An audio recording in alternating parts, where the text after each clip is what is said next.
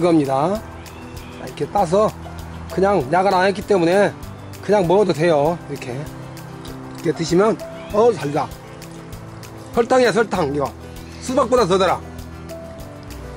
너무 달죠? 네. 제가 을 다해서 재배했기 때문에 맛 최고. 그 다음에 믿을 수 있고 정말 약 농약은 전혀 하지 않습니다.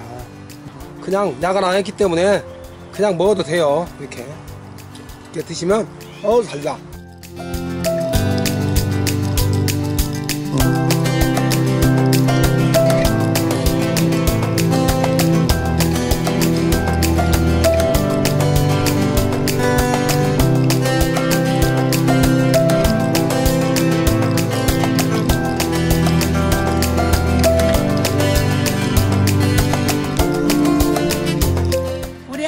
블루베리 농장은 완전한 유기농으로 완전한 먹거리로 우리 최상의 제품을 소비자에게 만족할 만큼 드립니다. 오셔서 시식도 하시고 체험도 하시고 마음껏 즐겨보셔요. 온몸이 힐링될 겁니다.